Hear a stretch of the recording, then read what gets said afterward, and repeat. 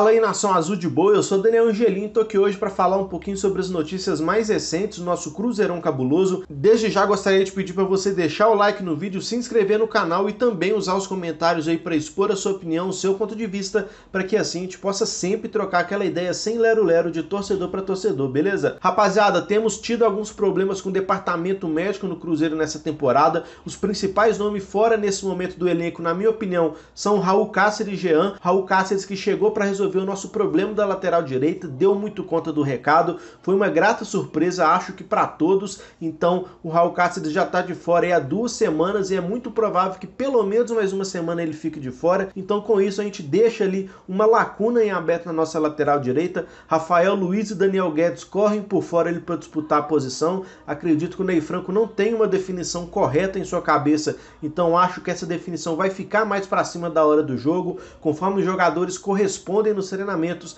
mas fato é que o Raul Cáceres vem fazendo muita falta. Ele vinha sendo um dos jogadores mais regulares do nosso elenco, dando assistência também, chegou a fazer gol. Então torço para que o Raul Cáceres se recupere logo para ele voltar ao nosso time. Mas fato é que o Cruzeiro não deve contar com um atleta para esse jogo de quarta-feira contra a Ponte Preta, mesmo no caso do nosso meio-campista Jean, que mais uma vez em sua carreira aí se encontra lesionado. O Jean que sempre brigou muito com essas lesões, muitos jogos ficando de fora, tendo temporada temporadas perdidas. Então esse é o histórico do Jean que vem se repetindo no Cruzeiro. Ele que tinha entrado no nosso meio-campo ali fazendo uma boa partida, no segundo jogo ele acabou falhando naquele escanteio onde ele não conseguiu cortar a bola no primeiro pau, mas fato é que o Jean consegue entregar uma cadência ao nosso meio-campo, uma experiência, uma maturidade que Henrique e Ariel Cabral, por exemplo, não entregaram até aqui, e com certeza hoje a ausência do Jean é um desfalque para a gente. Assim como o Raul Cáceres, ele não deve ficar à disposição para o jogo contra a Ponte Preta nessa quarta-feira, então são dois desfalques aí certos no nosso time, e o Ney Franco terá que encontrar soluções para suprir essas ausências aí. Temos também dois jogadores que estão recuperados de lesão e voltam a ficar como opção para o técnico Ney Franco, que são o volante Henrique e o zagueiro Léo. A gente tem que ser bem honesto que nenhum desses dois atletas vem sendo desfalque para o Cruzeiro nesse momento, ambos jogando muito abaixo da média, o Léo falhando muito lá atrás,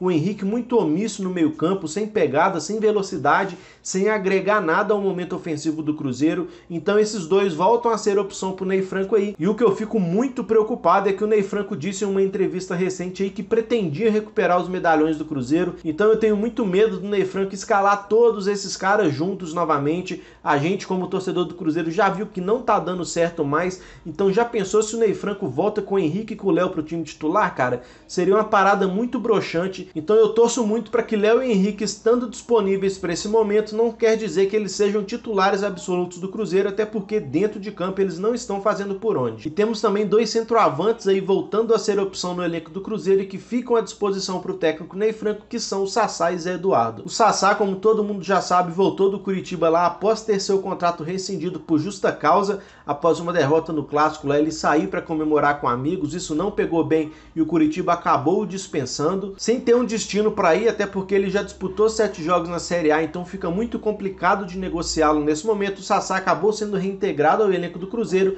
e agora de fato fica como opção para o técnico Ney Franco. O Sassá que no jogo treino contra o Sub-17 do Cruzeiro chegou a marcar dois gols, mas isso não quer dizer nada, cara. O Sassá já teve inúmeras chances no Cruzeiro, não as aproveitou e por que que agora no momento turbulento do clube ele seria capaz de aproveitar a oportunidade? Acho que vontade dele não falta, raça não falta, mas isso é muito pouco para um cara ser titular do time do Cruzeiro. Além de vontade de raça, ele tem que ter futebol, tem que ter bola no pé, tem que saber empurrar a bola para dentro do gol. E o Sassá vem falhando nisso há muitos anos, então eu não vejo com bons olhos esse retorno do Sassá. Prefiro mil vezes que o Zé Eduardo tenha uma sequência nesse time do Cruzeiro, ele que vem de uma sequência muito boa nesse ano, fez muitos gols pelo Vila Nova, fez muitos gols agora pelo América de Natal, então ele tá num bom momento, o Cruzeiro tinha que tentar usufruir desse bom momento dele para ver se contagia todo o resto do elenco. Às vezes um cara que tá fedendo a gol ali, a bola bate nele, as coisas simplesmente mudam. Então acho que para essa partida de quarta-feira contra a Ponte Preta, o Zé Eduardo inclusive deveria ser titular do Cruzeiro.